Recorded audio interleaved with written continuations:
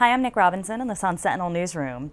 Facebook is saying uh-uh to painted tatas. Three SFL artists teamed together to launch a paint breast cancer campaign, showcasing these bare but decorated breasts of cancer survivors on the social networking site. But Facebook has repeatedly ripped the pics down, saying it violates their nudity and pornography rule. Many of the photo subjects are outraged, arguing the images helped boost their self-image and are hardly porn. For more, head to sunsentinel.com slash SFL.